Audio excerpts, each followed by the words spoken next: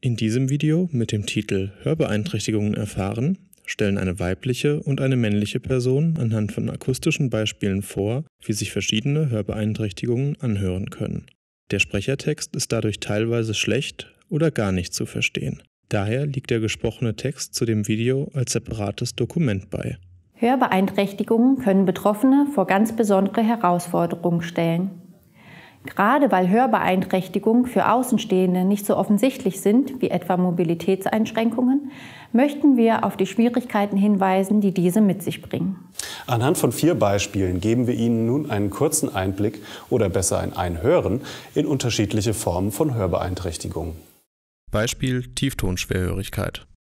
Bei der Tieftonschwerhörigkeit sind Frequenzen unterhalb von 2000 Hertz kaum oder nur schwach wahrnehmbar.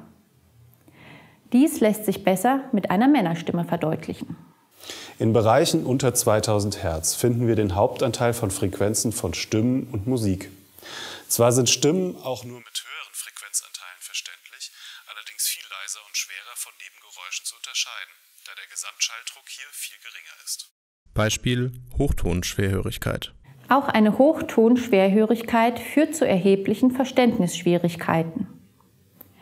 Vor allem hohe Frauen- und Kinderstimmen oder Konsonanten, die anhand von Pfiff, Pfeif und Hauchlauten unterscheidbar werden, sind ohne die Obertöne im hohen Frequenzspektrum kaum zu verstehen. Beispiel Tinnitus. Der Tinnitus kann sich durch ein Pfeifen, Rauschen, Klopfen oder auch anders bemerkbar machen. Er kann ganz bestimmte Frequenzen komplett überlagern und führt neben ständiger Belastung eben auch zu Problemen der Wahrnehmung der Umgebung. Beispiel Schallleitungsstörung. Die Schallleitungsstörung verringert die Hörleistung ganz allgemein bei allen Frequenzen. Alle Geräusche werden viel leiser wahrgenommen. Besonders in anstrengenden oder unruhigen Umgebungen oder bei Erfordernis von großer Konzentration können all diese Beeinträchtigungen erhebliche Auswirkungen auf die Betroffenen haben. Auch Hörhilfen können hier nur bedingt Abhilfe schaffen. Die Fähigkeit des selektiven Hörens, das vor allem in Gruppengesprächen wichtige Inhalte hervorhebt, ist mit einer Hörbeeinträchtigung stark geschwächt. Um Inhalte von Videos für Menschen mit Hörbeeinträchtigung verständlicher zu machen, sollte man daher Untertitel erstellen.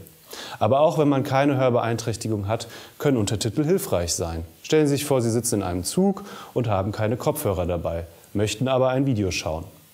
Ili zamislite da hoćete pogledati video koji nije na vašem materinjem jeziku. Najkasnije u tom slučaju i vi trebate podnaslove. Dieses Video wurde produziert von Studium Digitale, der zentralen E-Learning-Einrichtung der Goethe-Universität im Rahmen des Projekts Digital gestütztes Lehren und Lernen in Hessen. Verweise zu den benutzten Quellen finden Sie im beigelegten Dokument.